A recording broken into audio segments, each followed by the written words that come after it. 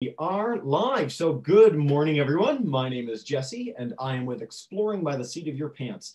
For those joining us for the first time, we are all about bringing conservation, adventure, and science into classrooms around the world. And we are really excited because right now we're joined by seven classes from across North America. We might get one more in a minute. So, I want to give them a chance to do a bit of a shout out. We've got Miss Reeves, grade fours in Leamington, in Ontario. Hi, guys. Hey, welcome in. I don't know what the puppet is, but I love it. We've got Miss Liz's grade nines in Homestead in Florida. Hi, guys.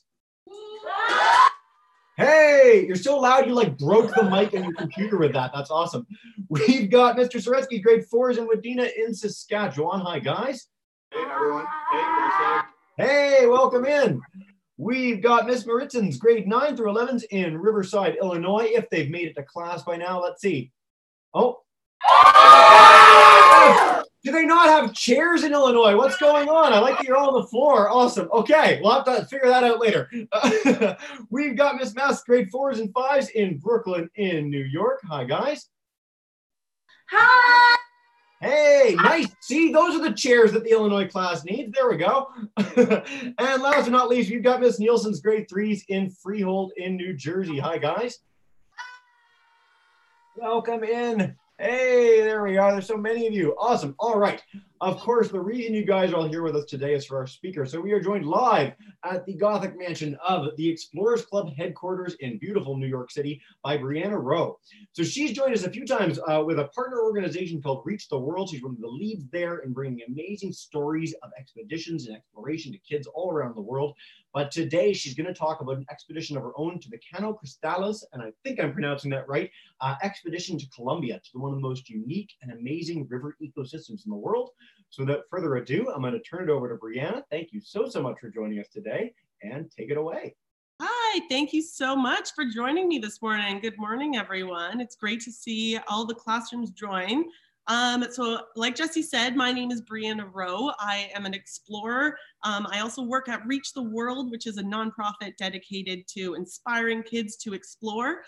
Um, I am also a filmmaker and I've led expeditions for kids in different parts of the world. And I've had some amazing jobs in my life so far. I've worked on projects in the Arctic. I've researched elephants in Thailand and East Africa. And I've had a lot of opportunities to go on expedition. And I am here right now at the Explorers Club. So you can kind of see it's really dark in here and you can see these, these things behind me. These are Explorers Club flags. Now, the Explorers Club is a big mansion in the Upper East Side of New York City. You can kind of hear some sirens going outside here in New York City.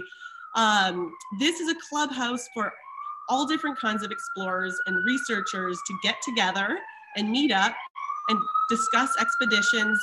Oh, you can hear it. talk, about, talk about different places that they want to explore, talk about new research, new findings, new tools to go out and explore the world. And I've met a lot of phenomenal people here at the Explorers Club. And the first thing that you do as an Explorers Club member and you're planning an expedition is you can apply to take one of these flags on your expedition. And there are just under 200 flags um, that are in circulation that you can apply to take on an expedition. And these flags have a rich history because some of them have gone to the top of Mariana or the top of Mount Everest and the bottom of Mariana's Trench, the toppest part in the, the highest part in the world and the lowest part in the world. So when you carry a flag, you're not only bringing a piece of the Explorers Club, but you're bringing a piece of history of exploration on your expedition. So in 2000, I'm going to tell you guys about an expedition that I did with my father in 2017. And um, my dad is a filmmaker. So I was lucky enough to grow up in Toronto, Ontario, Canada, with a dad who went on expedition for his job. He made films about unique parts of the world. And I got to go with him. So it was really lucky. And um, in 2016, we heard that this one area of Colombia was safe to travel to because um, of an agreement. Colombia has a, a long history of conflict, and there's one part of Colombia that we were always looking to go to. It's called the Red River, Caño Cristales. It's an area unique to the world that where the river turns red. And it wasn't that well documented at the time, and we didn't know that much about it. And we wanted to go down there and take photos. Uh, my dad is a filmmaker, and he was working on a project called Red Planet. And it's about all the red things in the world um, in our Earth. And so he had gone to a lot of different areas to film lava and uh, red rocks, and he really wanted to film this red river. And so in 2016, uh, we heard that the, that the president and the United Nations were working on a peace agreement um, to have a ceasefire agreement. That means that in this region of Colombia, where which was controlled by the rebel group FARC, um, they they created an, an agreement that said that they were going to cease fire. They were not going to have any conflict. And so we learned about this and we said, okay, it's time to go down to Colombia. It's safe to go there for us, and we can go deep into the jungle and film this amazing Red River. Um, so that's how it all started. And um, I'm going to show you a few pictures right now of, um, let's see if we can share my screen. Um, these are some of the photos that we took when we went down there. And then I'm gonna uh, show a little video about, um, about the Red River and about our journey. So let's see if we can start that here. Share.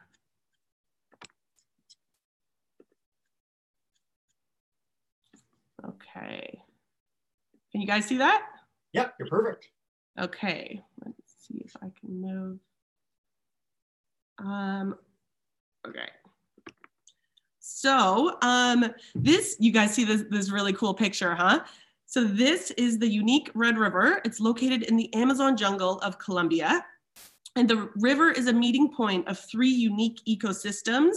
Um, you've got the plain regions, you've got the Amazon rainforest, and then you've got um, the mountain range from the Andean mountains coming in. So it's this really unique spot and it's the only environment in the world where um, a small plant grows called Macarenia clavigera. It's, it's a little hard to pronounce, that's the Latin word for it. And this is a red plant that grows out of the bedrock and it fixes itself to the stones. It's a river, river weed and it grows out of the bottom of the rock there. And then the, the water is crystal clear on top um, because it does not have a lot of nutrients in it. So the water is really clear and it's really shallow. And then right underneath, you see this beautiful red plant. Um, so this this uh, river is called the, the Red River or the Rainbow River or the River of Five Colors. So you can see the different colors there. Um, people have been known to say that it, it's yellow, blue, green, red, and black. So the yellow you can see there pretty clearly, and that's from the plant that's starting to change color. Um, the blue is from the reflection um, of the sky and the water that turns blue.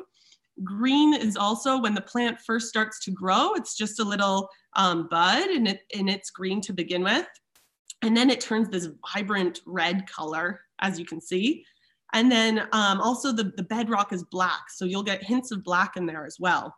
People have also called it pink and purple, and you can really see all these different colors there as well. And that's me and my dad there. We're carrying an Explorers Club flag. This is flag number 97 that we got to take on us on expedition. And so it was really amazing for us to be able to get to go down there and to, to show off the Explorers Club flag um, and to take it to this new destination. Um, the river here has a lot, it's, it's, a, it's a narrow river that has a lot of waterfalls and rapids and streams and these whirlpools. And so it's a really unique um, environment here. And the redness of the river grows between uh, June and November. So we went right in November when the whole thing was in full bloom. It was really beautiful. And I'm gonna see if I can show you guys, take a look when I play this video, um, see if you can understand this plant, this river weed that's growing and how it's attaching itself um, to the bedrock here.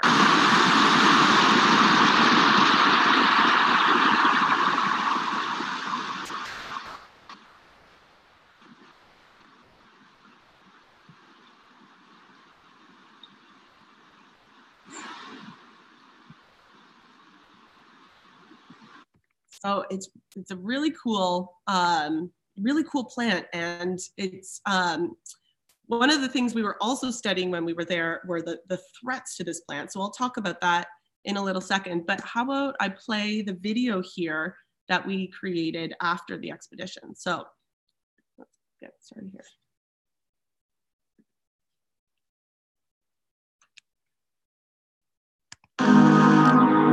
Past 10 years, my father's been traveling the world, chronicling all the red spots on Earth for a project called Red Planet.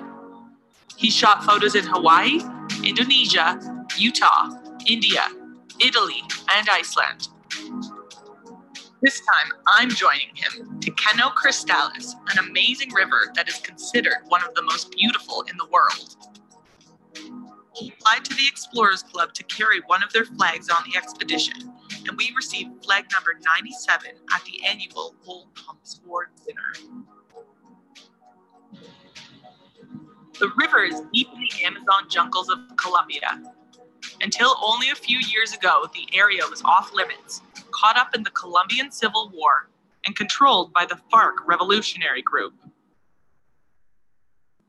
After the charter flight to the town of La Macarena, we boarded fast, narrow riverboats and headed up the Guayabero River towards the Cano Cristales. From there, long off road drive on 4x4s. Then, a long hike through the jungle with our guide and translator. Finally, we make it to the river, and it is an extraordinary sight. Our timing has been good. The water levels are up, and the plant that colors the river red is in full bloom.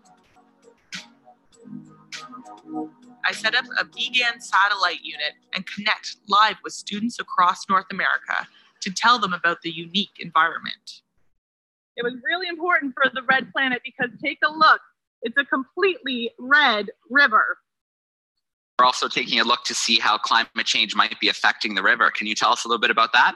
The biggest, biggest threat for the Red River right now is actually oil. There is an oil company that set up shop close by that is interested in extracting oil from the soil here. Hopefully, the images can help protect this fragile environment.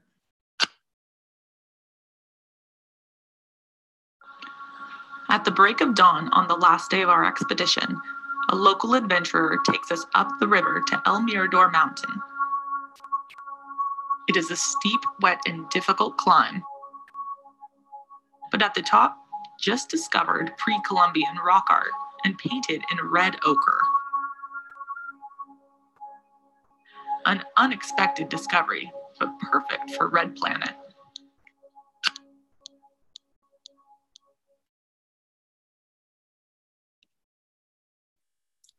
All right. So I'll That was great. That was the most meta exploring by the seat of your pants presentation aspect ever. awesome. Yeah, we got really lucky, and we, you know, on our last day, we got to keep going and keep exploring this region, which hadn't been really, you know, explored by a lot of tourists or um, a lot of um, researchers. And we found these amazing cave paintings that were also red, so we could add it to our uh, Red Planet book series. Um, so that was really amazing.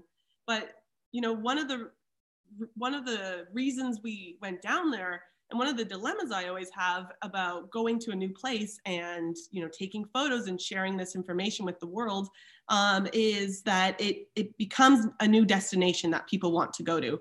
So even in the last couple of years since uh, we went to Caño Cristales, it's been publicized a lot. It's becoming more and more of a tourist spot.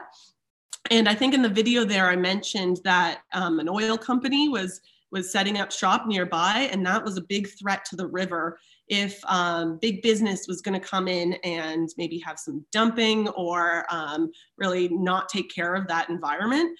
And it turns out that the government actually invested um, a little bit of money into preserving the park, um, into creating it, you know, a, into creating ecotourism around the area so that um, the money that is coming in from people wanting to see this area goes back into preserving it. And it was actually closed this last season because they were setting up bridges and other um, infrastructure in order to bring tourists to the area Um, so ecotourism is a way to conserve an area if people care a lot about it and, and if people will pay a lot of money to go down there and see it as, as this pristine, beautiful um, area, then um, it's one way of, of doing conservation. Um, but the but the region, you know, this is a really fragile um, area, and it's a really unique area. And things like climate change, um, having an intense, really hot summer that could dry up the, the narrow river, or increase deforestation, or increase burning of the Amazon River or of the Amazon um, or you know over tourism having too many people there who are wearing sunscreen and it's rubbing off and the toxins um, are creating a problem to the river. All of these things are um, threats to the red river. So um, it's worth sort of thinking about how do we conserve this really unique space and this amazing unique plant that grows there. Yeah. Fantastic brianna um, I don't know if you, ha- I mean, you're, you're really early into this presentation. If there's anything else from that expedition or anything of your other expeditions that you'd like to share, you can. Otherwise, we'll dive in with questions and then maybe get to that, uh, those aspects in a little bit. Does that sound good? Yeah, sure. Sounds good. Awesome. So we've got a few groups watching on YouTube as well. So we're gonna uh, see if they have any questions. You can type them in the chat bar and I'll pass them straight along. Uh, but yeah, seven classes live. So let me start with Miss Reeves' group. We'll come to you guys first and we'll go from there. Come on up, guys.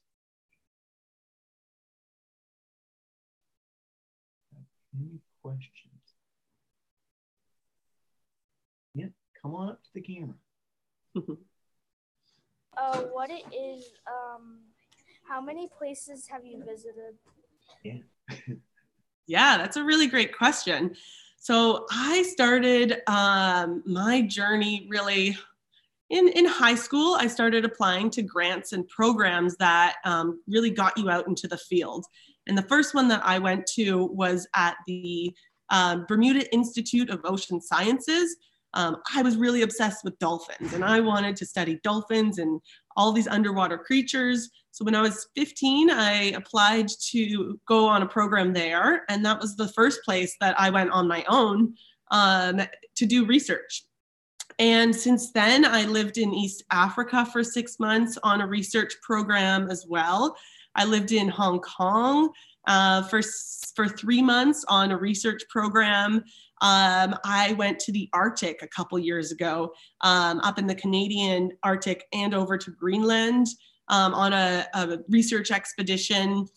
I've climbed volcanoes in Indonesia on a filmmaking expedition.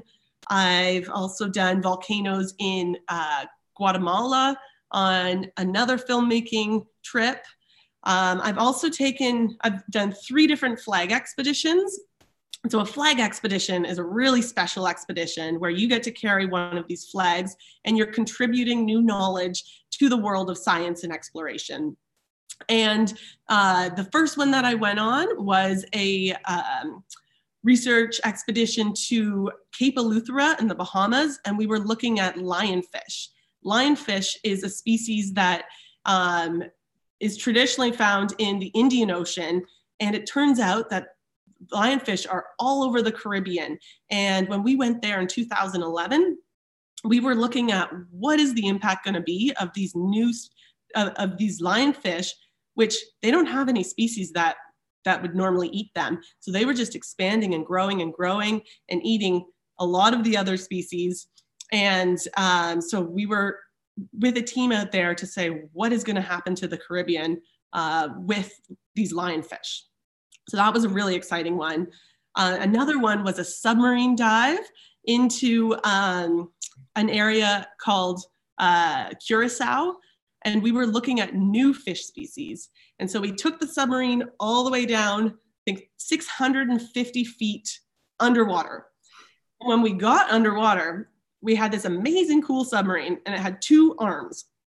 And the first arm would shoot a little bit of anesthetic, little bit of um, little bit of, of fluid that would make fish really loopy. And so they'd sort of slow down and they would uh, kind of calm down. And then the second arm would suck up the fish and we would decompress these fish um, because if you brought it right up to the surface, it would it wouldn't it wouldn't survive because these fish, there's so much pressure at 650 feet under the ocean. So you have to bring it up slowly and let it let it chill out at 400 feet and let it chill out at 200 feet. And so after a few weeks, you can bring it up to the top and you study these different fish species. Yeah. So that was an, another um, flag expedition that I did. And then the, the most recent one was to Caño Cristales. By the way, for our classes too, we've got, uh, you guys sort of saw a video of it within the video, uh, but we have Brianna's Cano Cristales when she was live there video on our Exploring by the Seat of Your Pants channel, and an amazing one from Cambodia where in the middle of the night they were talking about protecting soft shell turtles, which is really cool. We're going to be talking about that in February as well. Um, fantastic, Brianna. You need to get off the couch more, obviously. Um, that was a great uh, group of expeditions. All right, let's go to our next class, Ms. Liz's class. If you guys want to come up, go for it. How does global warming affect the river? Yeah. Mhm. Yeah, it's a really big question. And that's something that I study because global warming and climate change is really everything. It's really, it's, it's, there's the science behind it, but then there's also the policy behind it. And um, so I look at, like, I look at the, the impacts of climate change and um, what are some of the things that like society can do to, to um, try to mitigate those problems. I think the biggest threats, though, um, is the idea that um, that the river would dry up. So as the wor- as the world gets warmer, the the river would dry up. The other impact could be we don't know what would happen to this plant if the river changed temperature. So if the river becomes too hot or becomes um, um, you know, if it, if it just changes the uh, salinity, for example, we don't know how that's going to affect this plant. Um, another big, big thing is that this area is uh, in the Amazon rainforest, and you guys have probably heard the destruction of the Amazon rainforest, both from deforestation from humans doing logging, but also just how climate change is impacting um, and increasing forest fires in the area and how and if, if there was a forest fire in the area it would completely change um, the landscape of um, this uh, of this red river. Um, and then of course you know just the impact of oil and drilling and other extraction companies. Um, colombia is an incredibly um, fertile and rich land. And as humans um, develop into it and we extract more resources um, and we mine for different things, we're going to be drastically changing the landscape of the land. And so that's going to have um, a really huge impact on, um, on the river. Yeah, excellent. I'm glad we got that question so early. All right, uh, Mr. Soretsky's class, come on up, guys. You guys have a question? Uh, why is the why is there red plants in the red river? Yeah, Yeah, so this is a river weed that really only grows in this one part of Colombia. Um, the reason it grows there is because of a lot of different factors in the environment and the landscape there. Uh, we have, like I mentioned, there's this plain region. So you guys know the plains and mountain ranges, and then also the rainforest. And so it's very rare that these three ecosystems sort of meet, but they kind of meet at this one point in um, in Colombia, um, and that's where this this plant grows. So, you know, there's a lot of new there's a lot of species of things out there, and I think the red plant was so exciting to see because it's so dramatic and it's so drastic. And but there's a lot of different species of plants and animals that we haven't even discovered yet. And so finding this red one, you know, it's been people have been around it and people have known about it for a long time, but it's just a really special one to me because it's so dramatic um, with this Red River. Very cool. Thanks so much. All right, uh, let's go to Miss Maritzen's class. You guys have one? Come on up. Uh, so, uh, is there any other countries that you've wanted to travel to but necessarily couldn't because of conflicts in that country? Yeah, good question. Yeah, no, it's a great question. Um, it happens all the time, actually. Um, when I was I was living in East Africa for um, about six months, and you know, I was only about I was 20 years old, and my parents were a bit nervous to send me off there. And my plan afterward was to go to Egypt and to go see the pyramids and to look at um, the amazing culture and history in Egypt. And it was right around the time of the Arab Spring, which is um, when a lot of countries in North Africa um, and the Middle East were um, having revolutions. And it actually was a lot of social media was propelling these revolutions. And I really wanted to go to Egypt. I had a plane ticket there, but I had to cancel because um, it was uh, it was just not the right time to go to Egypt for me. Um, there was a lot of uh, potential dangers with uh, protests and uprisings um, in in the region. So I still haven't made it back to Egypt. Um, the thing with with Colombia though is, you know, it is it is a safe place to travel to. And I have done a lot of different courses on risk management to learn um, what the conflicts are ahead of time. You really have to research what's going on. What are your dangers when you go into a new place where you um, where you're not from? And so you have to do a lot of research. Um, in Colombia, you know, the cities are are safe and they're safe for tourists to go to, and um, I would even say that the Red River is, is a safe place to go to, but you just have to really be aware of your um, of the histories of the places that you're going to and the potential conflicts when you're going there. Yeah, it's a good lesson to apply to anywhere that you're going in the world. And it's a question we don't get very often. So I'm really glad it got brought up in this one. So thanks, guys. Um, all right, Miss Mess class, come on up. You guys have one. Who wants to ask a question? Sorry, no, no question. Audrey, Ethan, oh, Tahina, yeah. come on up. You have a question? Come up to the camera. Come on. Don't be shy. All good. come on, come on Tahina. Even if we did bite, we can't do it through the computer, so it's okay. Come on, come on. You do this all the time. Come on. So I'm going to come back to you guys in a second, okay? If you have a question in a second, and I'll come back. Uh, I'm going to go to Miss Nielsen's class first, and then if you think of it, and if you're comfortable asking by then, that's all good. So Miss Nielsen's class, come on up, guys. Yep, you're good. Go ahead. Uh, you can scoot down a little bit. what? Did you take an, a sample of the plants? Yeah. Yeah, thank you for asking that question. It's a really great question. Um, we were not allowed to touch the plants. And I really love this policy that you cannot touch the plants. Um, there, there, we had to do actually an entire training course um, from the government of Colombia and um, the environmental department there put together. Um, you know, they, they, sat down with us and they said, you cannot bring sunscreen into um, our into the river. You cannot touch the plants. You cannot step on the plants. And so there were a lot of rules that they put forward because they're really you know the, they're really nervous that um, too much uh, too many people disrupting uh, these plants would would be a problem for their survival. So we were not allowed to touch them. In order to do that kind of research, you often have to uh, apply for permits from the government.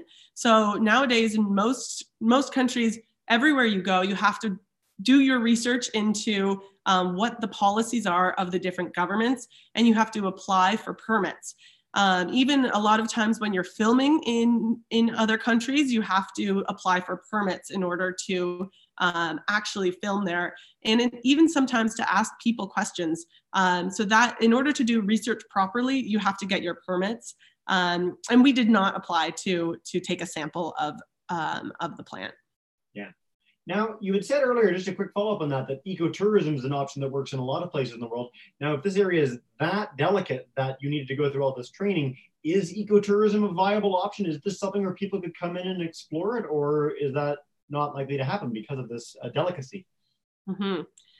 It's a tricky question, and we don't really know the answer. And right now, you know, ecotourism seems to be one of the best options for conservation um, because there are so many policies and rules that you can put into place um, on a space when you are making it an ecotourism destination.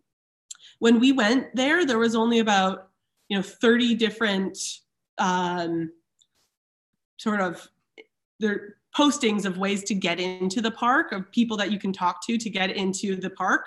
Um, now there's like more than 500 operators. Wow. and so ecotourism is not like a final answer. It's something that needs to be worked on all the time and, and it costs a lot of money in order to do ecotourism right. So um, in my opinion i think that it's it's the best option for this area. Um, you're going to have more people coming to this region. Um, the, the world is becoming a smaller and smaller place. And so I think it's a smart idea to set up ecotourism properly and to get tourists on board with conserving the environment in the places that they go to. Fantastic. All right, I'm going to go back to Brooklyn. Uh, if you guys have a question, if you're comfortable asking now, come on up. And Miss Mesclaf. Yeah. Quick, Yeah. quick, quick, Ben. Did you drink the water? Can you drink the water? Can you drink the water? Hmm, that's a good question. I, I mean, probably the water's pretty safe to drink. It's a really, um, it's a really uh, unique part of the world where it, there's not a lot of human activities. But I never suggest going off and drinking the water.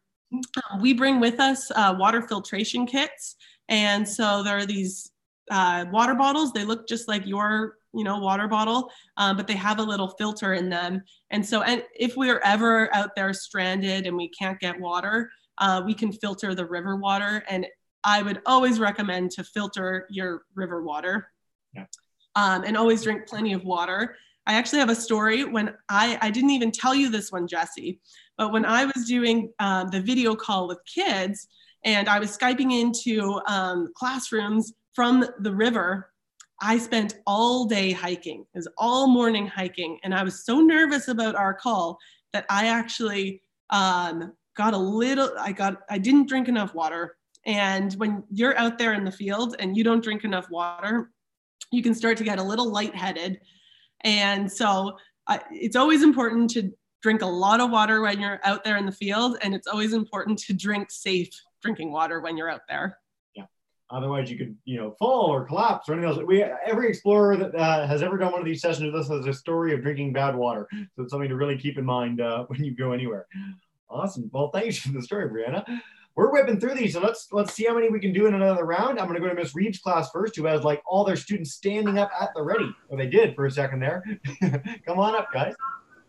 How many animals are there in the lake? Say it again, Tyler. How many animals are there in the lake? Yeah. hmm That's a really good question. Uh, the river is really narrow and really shallow, so there's not a whole lot of animals there. Um, but there are little fish species that we saw um, floating around. It was a freshwater river. Um, but what we learned is, you know, Colombia is an incredibly biodiverse region. Um, we were told it has the most bird species um, in the world in that area of, of Colombia. So we saw tons of birds. Um, we took a lot of different rivers to get to the Caño Cristales River. And in one of them, they said that there were pink dolphins. So I was on, on the lookout for pink dolphins, but I didn't actually get to see any. Uh, there's a lot of monkeys that we saw on our route. Um, but in this, this particular river, there actually, the reason it's so clear is because there's not a lot of nutrients in the water. And that's actually why this plant can kind of grow and take over um, because it doesn't need a lot of nutrients to survive. That's why we call it a river weed. And so there's not a whole lot of other, um, it, the river itself is not that biodiverse, but the, the area of Colombia had tons of birds and mammals and dolphins and a lot of other species. Butter, neon butterflies is very cool. Fantastic. All right. Uh, Miss Liz's class, come on back up, guys. Okay, so um, we've noticed that you you've done a lot of research, and I just wanted to know what really motivated you to study other places. Yeah. Yeah, it's a good question. Um, you know, and I love being here at the Explorers Club because everybody here at the Explorers Club, there's people from all around the world, and we all have sort of the same motivation and the same mission, which is that, you know, we really don't know that much about our world. There's so many questions that people don't have answers to. And this group of people here at the Explorers Club are working on those answers. So I love these big questions, and some of them are, you know, really simple and small, like what are the threats to this Red River? Um, but some of them are really big, like is there life in outer space? There are people at the Explorers Club working on those questions. Um, another one that we're talking about is there what is there life at the bottom of our oceans? We don't really know uh, what the answer is to to what exists down at the bottom of our oceans. So those are some of the really big questions that people are asking. And I love to be part of this exploration community where we're right on the forefront of answering these amazing, huge questions about our Earth and our history. Super cool. What a great answer, Brianna. I also want to note uh, both the Miss Liz's class and Miss Maritzen's class, I can speak English, um, really thoughtful and great questions from high schoolers today, which is unusual. So I really, really appreciate that you guys being so enthused and engaged. It's awesome. Um, let's go back to Mr. Soretsky's class. If you guys have a question for now, come on up.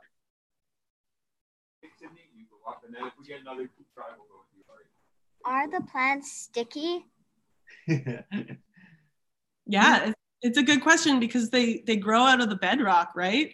And you saw the the video of the plants kind of floating there. These are incredible plants that they can latch on to the rock and there's river water flowing through them. There's waterfalls, and these plants still are grasping onto the rocks and they're growing out. They're not sticky, they just have really strong uh, roots that can um, attach themselves to these rocks. Yeah.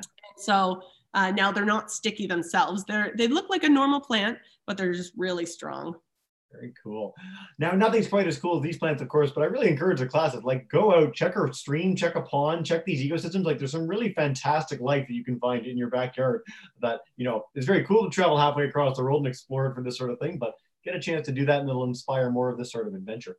All right, uh, I had said Miss Maritzon's class a second ago, so let's go back to them. Come on back up, guys. Has there been a specific um, expedition that you have gone on that you've been utterly shocked at the amount of human impact that's already occurred? Yeah. An expedition that I've gone on. That you've been shocked at the amount of human impact. Like when you've gone, you've been astonished by how much garbage or how much uh, destruction or whatever that has mm-hmm. happened. Yeah. Um, I think one of the, hmm, let me think, there's, um, I would say the going to the Arctic was was pretty cool because I actually it felt like humans really weren't there. It felt like um, you know human destruction hasn't really taken taken over there in some of the other regions I've been to. Um, we were, I guess, last year around this time we were in uh, um, along the Mekong River in Colombia or in Cambodia, sorry. And um, we were actually researching microplastics in the river to see um, what the impact is of uh, humans on the Mekong River. It's the, I think the third largest river in the world. And um, it's getting a lot of, of flow from China and a lot of other countries. Um, and it's reaching uh, the garbage and the microplastics in the water is actually reaching these small rural villages uh, that we visited. And so we were testing the water sample, we were sampling the water there and looking for microplastics. And um, it was, you know, it was shocking to see the amount of human impact in the river water that you actually couldn't see. You needed a microscope to see the impact of this plastic. So, which means it probably is not coming from the people there. It's probably coming from upstream um, from other countries. So it was pretty devastating to see that the impact on those local people. Yeah. Uh, in September, we do an entire month dedicated to ocean plastics. And so you talk to any of the researchers there and seeing the amount of trash people see in the most remote places in the world is astonishing. So this is something that we're, you know, human impact is, is everywhere. Great question, guys. Um, all right, this will teach me not to write uh, a class on a different box when I start out the thing. We have Mrs. Fram's class joining us, grade fives in Rochester, Minnesota. And I'm so sorry I didn't introduce in the beginning, but we're going to take two questions from them back to back. Uh, so Miss Fram's class, come on up, guys. If you have one, go for it. Yep. Queries coming up. The camera's right there. Go up, go up, go up, go up, go up. What was your favorite flag expedition? Ooh, Ooh. No pressure. The favorite one that I did or favorite one that exists that in the world? you did, yeah. that I did? Oh, I think going down in a submarine is probably the coolest thing I've ever done in the, in my entire life. Um, and I was a little nervous though because we all watched the TV show. Or we, have we all seen the movie Finding Nemo? Yeah. Yeah. And it's pretty sad because the you know the the fish was taken out from their family and uh, and so I was a little upset about the fact that we were take. I didn't know how how to feel about the fact that we were taking these animals out of their natural environment to study them, and um, I don't know how I how I even feel about it today. So um, it was the coolest expedition that I've been on, going down in the submarine. Um, but I don't think that that's the best it's the, the best way at the time that we could do the science was to disrupt the environment like that but i don't really agree with it anymore and i think there needs to be new methods of, obs- of observation in order to do scientific research where you're not disrupting um, the environment Well, I mean, the way that science has been done in all fields, archaeology, zoology, collecting animals for zoos, I mean, this has all changed radically, not just in the last 50 years, but in the lifetimes of the kids that are watching now. So it, it's uh, a lot's changing. And, and no matter what, on a plus note, you got to go down in a submarine, which for the class you might not know, maybe a few thousand people in history, maybe have been able to do that. So it's a really exciting opportunity and, and kudos to you. All right, right back to Miss Fram's class. Come on up and then we'll take two more before we wrap up. Okay, Silas, go ahead. How many countries have you traveled to? Hmm. That's a good question. Um, I I used to count, and I, I kind of stopped counting. I haven't actually been to that many. There's a lot of countries out there, and usually when I go and do research somewhere, I stay in one area for a long time um, in order to get to know it better. So I think probably about 40 countries and some of them you're just flying through and you're only there for a day. So I don't think they really count. Um, but I've been on probably about 15 expeditions where the goal has not just been to travel, the goal has been to collect information Yeah. and distribute it. Well, that is a, a large amount of countries by any measure and, and very, very cool. And we can all aspire to exploring as much as you have. Awesome questions, guys. All right, I'm going to take two more. Miss Mess class, if you guys want to do another one, and I'll come back to Miss Nielsen's to wrap us up. Go ahead, Ethan. Quick, come on. Say your question. Do you ever got your permit to touch the plant? Hmm. That's a good question. Um, no, I didn't need to. I my goals there were not really to touch the plant. Um, I think if I was a, a biologist or a scientist who wanted to do research on the plant, um, then I would have got that permit. But um, but I did not. No. Next time. all right, uh, Miss Nielsen's class, come on, wrap us up, guys. Graham, come on up. Come on up. Ready, Graham? Nice and loud, bud. How how does the Rainbow River get its colors? Yeah. Yeah. How does the Rainbow River get its colors? Um, well, the plant starts to grow in about June. And so right now, if you went down there, it would just look like a normal river. But in around June, the, the buds start to come out and it starts to get a little green. And then it and then the plant, you know how plants change color throughout the seasons for you guys? This plant changes color throughout its season of life, which starts in June and it ends in November. And we had to time it really prop perfectly. And we were you know calling our friends and saying is has there been a lot of rain? How's the plant doing? Because it changes color. And we didn't want to go down there when it was yellow. We wanted to go down there when it was bright red. And just like in i guess for most people in autumn is when the leaves turn red um, in around november was when uh, it was going to be the brightest that this plant was going to be Yeah, Fantastic. Thank you so, so much, Brianna. Um, and as I said to the classes, check out the Cano Cristales uh, expedition video on our Exploring by the Seat of Your Pants channel and see what happens when you don't drink enough water before a presentation. Um, and before we wrap up, Brianna, is there anything you want to share with class about what they can do to learn more about the Explorers Club, learn more about Reach the World? We can pass them to the sites uh, directly, but anything you want to share? Yeah, yeah. There's so many different ways to find information and to get involved with this exploration community. So um, feel free to message Exploring by the Seat of Your Pants or message me uh, at Brianna at reachtheworld.org. You can go to reachtheworld.org and learn more about um, different expeditions to follow. We have so many different kinds that you can follow. Um, you can do that on your own time, or our classrooms can sign up to follow different expeditions. So please do not hesitate to contact me uh, to learn more about that. And if you are ever in New York City, you have to come up to uh, 46 East 70th Street. It's this amazing clubhouse with um, the whole history of exploration. Uh, the club started in 1904 uh, with a bunch of polar explorers and the mission here is to bring people together who all love exploration. So if you want to go out and be a researcher or an explorer in the future, um, make sure to pop by the Explorers Club or find us online and follow a bunch of um, different expeditions around the world and just keep learning about it. Amazing. And I'll pass along all those resources to our class when we're done. Brianna, you know the drill. At the end of every session, I'm going to demute everyone's microphones in a second. So, boys and girls, if you guys can get ready to join me in saying a huge thank you to Brianna, you are all now demuted or should be demuted and can go right ahead. Thank you so much. Thank you. Awesome, guys. All right. Uh, to all our teachers, thanks so much for joining us. Again, check out February, an entire month dedicated to amazing women in science like Brianna. Um, Brianna, thank you so, so much for joining. That was fantastic. Yeah, great. Thank you guys so much for having me. Enjoy the rest of your day.